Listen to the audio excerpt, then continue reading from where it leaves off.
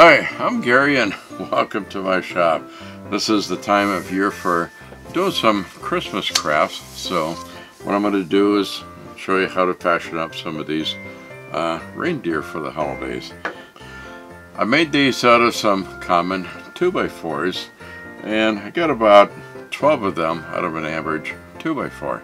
Now this was originally done by uh, Woodworkers Guild of America. They did a really quick video of it a few years ago and I've taken it perhaps a step or two further. And you can reach uh, Woodworkers Guild at www.wwgoa.com, Woodworkers Guild of America.com. Uh, so it's abbreviated as www.wwgoa.com. I did a previous video on this and I'll put a link below to that video. And this video um, takes it a step or two further to give you some more information. Now to see a quick video of this, I'll put a link in the description below so you can get through this quicker than what this one is. But for full detail, watch this video through. So let's get to this project. Well, here I've cut up a couple of 2x4s and cut them into these 8 inch long blocks for making these reindeer. And out of one 2x4 that's 8 foot long, 8 inches, I can get 12 of these out of a 8 foot 2x4. So, don't mean to sound redundant, but that's what I did. And next what I'm going to do is to square up these edges on these so that they're good and square. Then I'll trace my patterns onto these and cut them out at the bandsaw. Then I'll be doing the sanding too. So I'll get on with this and get all these done up, but I won't bore you as I do all these.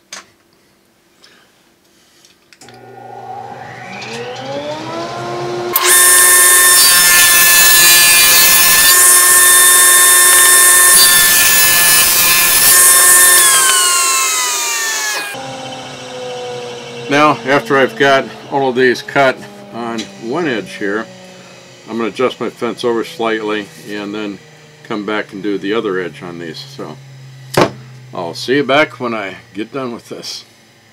Okay, so I've got them all squared up on one side here. And one of the things I learned as I was doing that, throwing up a lot of sawdust, was that I get a lot of sawdust all over me and into the pockets of my bib apron. So, I had to put on my turning smock because there's no pockets here and lets things all fall away because it's rather smooth. That's why they make them for turning. And be good for useful for making a lot of sawdust at the table saw too. So I'm going to do is get the uh, other edge side here squared up and then I'm going to go through all of these again and get them piled back over on this side. And then I can start putting my pattern on and go to the bandsaw to cut it out. So.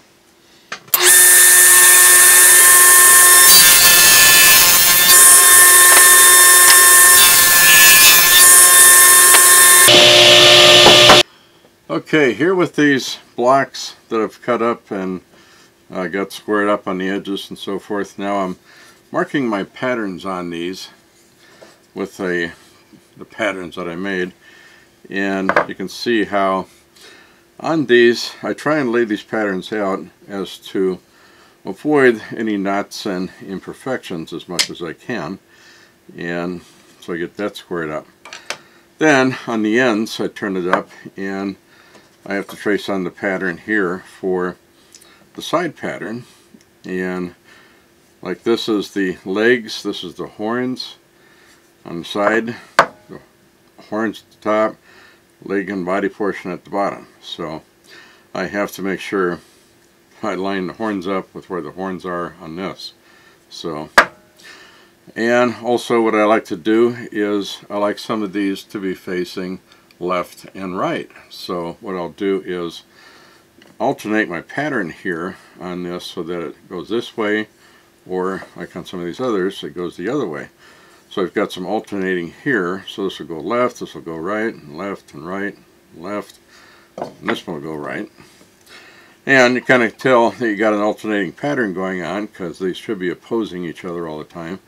Also I notice that this uh, in here kind of looks like a Christmas Christmas ornament shape, so that's kind of a good indicator too to help me keep on track so I don't get things too mixed up. So anyways, uh, that's a step I'm doing here. Then once I get all these marked up and laid out, then I'll be going to the bandsaw and getting these cut out. Okay, here at the bandsaw, I'm going to cut out these patterns and I'll trace around these lines that I laid out for the pattern. I got two 3 8 inch holes that I put on on this and that's to help me in the tight radius of these different cuts that I need to make. So that will help out. Now what I'll do is go ahead and cut these and usually I cut I start cutting between the horns here and then between the legs here get those cut out. Then I'll cut this long length here around to the back of the tail and down. Then lastly I'll cut this long part narrow part on this edge here last and then I'll put these pieces back together and tape them up. So I'll get this cut.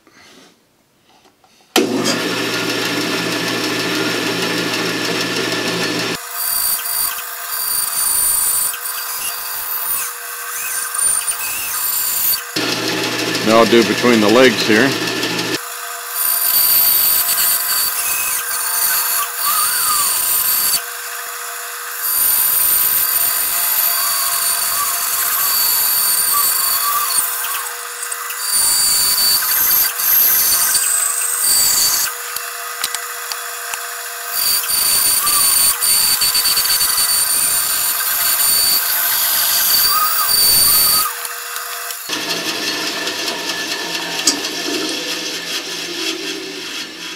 Put these two pieces together here that I cut out and I'll wrap it with tape to hold it together so I can then come back and cut this other pattern here.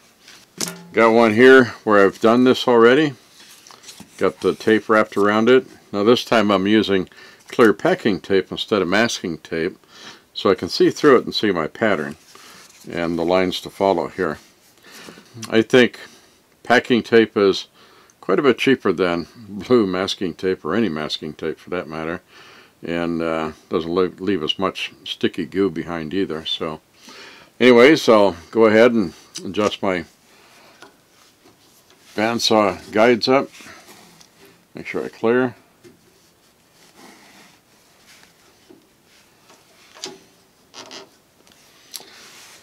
Then I'll cut out this part here and we'll have a finished reindeer out of this.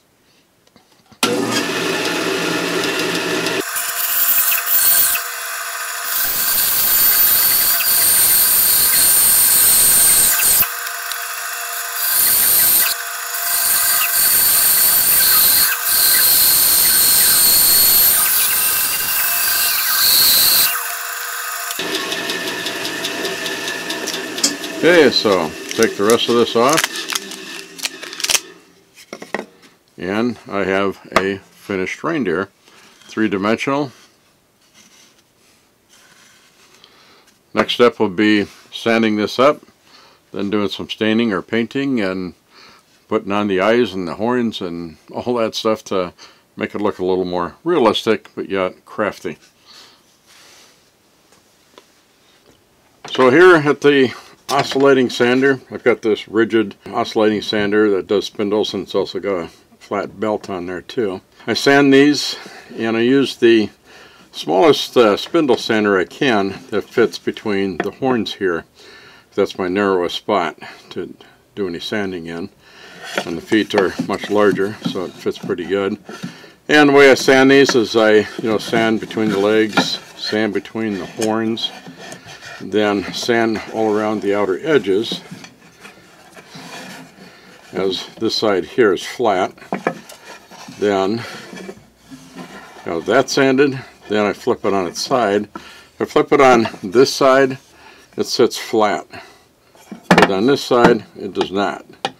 So, on this side, I can get it to fit around and do all these contours uh, very well. Then along the back side of that. So, how I will do it. I'll go through this.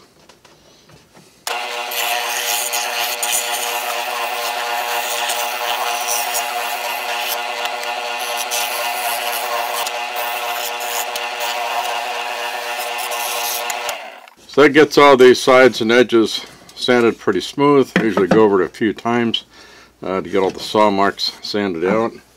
Then it'll usually leave some edges from the wood. Along these edges here so I just go over it with a you know about a 220 grit sandpaper and clean up any of these edges like you can see right here. Uh, I've got some fur on there. And it's just a matter of cleaning it up with the sandpaper a little bit. And it gets it fairly clean so go around all the edges and clean all that up. Then got a good reindeer next step for that will be staining and painting and doing some of the other parts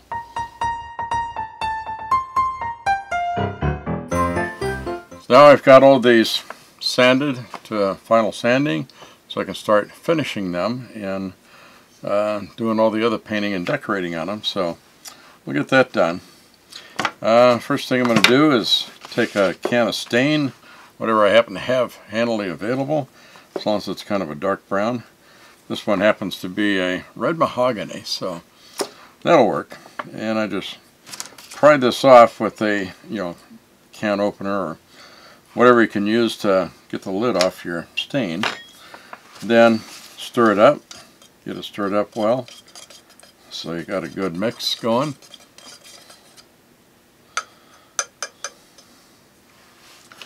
Then I use these sponge brushes and I'll dip it in and start staining on these. And I try to stain these and I'll start out just about halfway up the head between the antlers and the nose.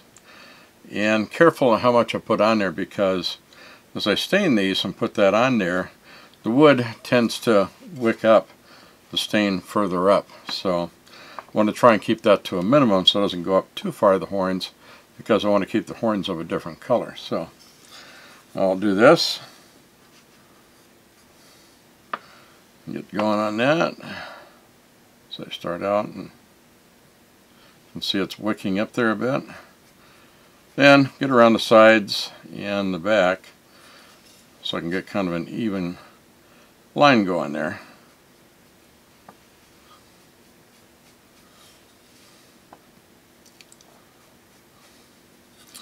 Then I'll finish going uh, all around the body with this, with the exception of the horns. I hold it by the horns here to keep my fingers out of the way of the stain.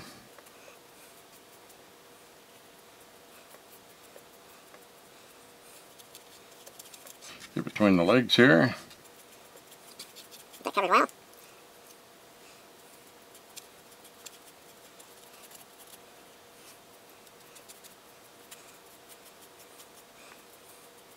Down the other side.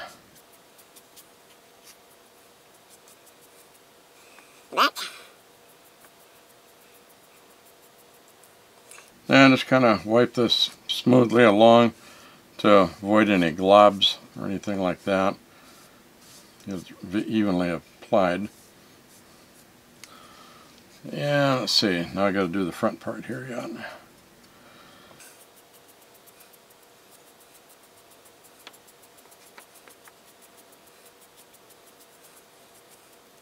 Like I said, go over it, get it wiped down so it's smooth and you don't have any globs on there. So that basically completes one. Uh, the feet, do those. Not going to worry about sticking on the paper here too much. So I'll set that aside and then start working on the next one. Like I've got about 36 of them here to do, so won't bore you with doing all those. I'll cut out here and then cut back in when these have dried and I'm ready to do the horns.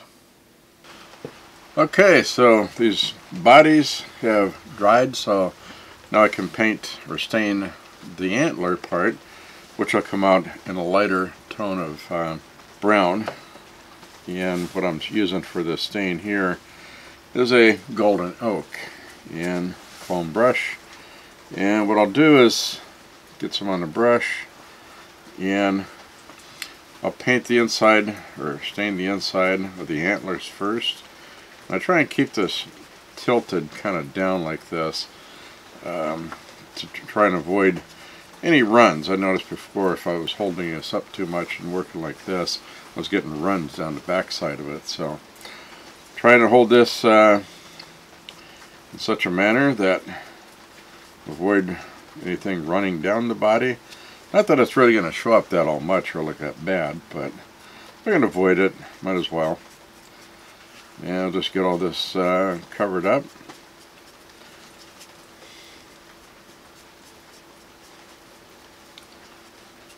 Tops of the antlers covered. And there I've got finished uh, with the antler part. And next step after this will be painting on the eyes and the nose.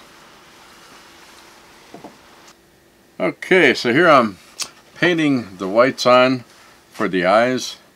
And the way I do this, I used to use these Testors, uh, a white, black, and red uh, model paints for doing this, but now they've come out with these uh, Sharpie paint pincher in various colors, and it's an oil-based paint that these are. And I'll put a link to these down below. I think I got these on Amazon. And what I do is you, you shake them up, get it mixed up pretty good, uh, test it out, get some spots going, get some paint flowing. And then I take and paint this onto these like this. Put in the whites for the eyes. Got like that. So then the next step after these dry is I'll put black dots in the middle of these white dots to represent the pupils of the eyes. And after that I'll paint red on the noses. Okay, now that I got all the whites painted on all of these, the whites of the eyes, now I can put in the pupil with a black marker here, uh, same kind as I had before. And what I'll do is just basically put a little black dot in the middle of the white spots. And that gives them the pupil, as you can see there. I'll go on and get the rest of these done. As I did with the eyes before, I'm going to put on a red nose with one of these red paint markers. And I just put a little bit right on the tip of the nose here, on the front. And I've got it looking like that. That completes uh, all the painting once I get done with all the rest of these. Now I'll start tying ribbons around the necks. Okay, so we've got all the eyes painted and the noses painted. Kind of sounds like taking a vote, the eyes and the noses. And uh, they got this kind of look on them, as you can see. And kind of looks like, uh, what you say, deer in the headlights. Wow. kind of an odd look, but that's what it works. And what I'll do is tie these ribbons on here now. This one I've got the blue and the red on it. And I'm going to take another here and demonstrate how I do it. Uh, maybe this time I'll do a white and a green. I've got these ribbons that I pick, picked up. Uh, get these at the local craft store. So I just pull off a little bit of a length. Cut it. And I'm going to tie this on here and form a bow kind of like tying a shoelace. Uh, it's a basic skill we learn in kindergarten. tie this like this.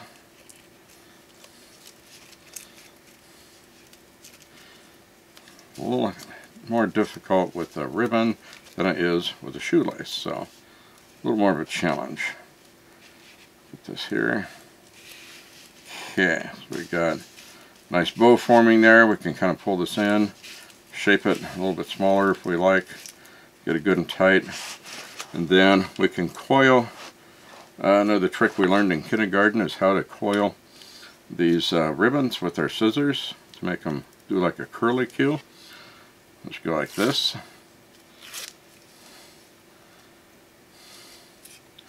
With the tag end, I guess, as they call this, of the ribbon.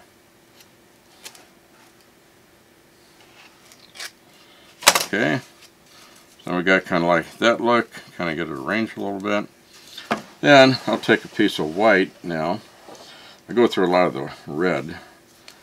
Um, now the white, let's find a tag on here. So we can get that. And get a little bit off of that. Now this one I'm not going to tie a bow on it. I'm just going to tie the ribbon around the neck just below the other bow and curly Q the ends on it.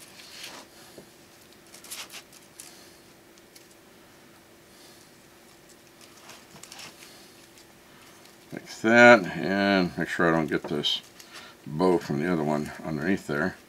So like that. Do it again, make sure it stays tied tight. Okay. Cut off some of the excess. Give it a curly Q.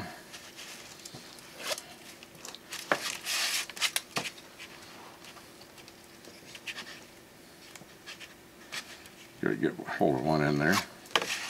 And there we have reindeer with the bows on it. And I'll go through all the rest of these here and do the same thing. This is how we make them.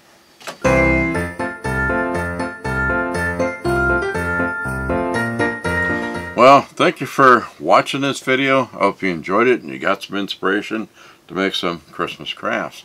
If you did, please give me a like and give me a thumbs up and share it with your family, friends, and fellow craftspersons. Also, we'd like to hear what you like to see. So please give us your comments. And please subscribe so that you won't miss anything that we have coming out in the future. Be sure to hit that bell icon so you won't miss anything. So, hey, if they like to say on the Red Green Show, the ladies don't find you handsome, at least they should find you handy. Thank you.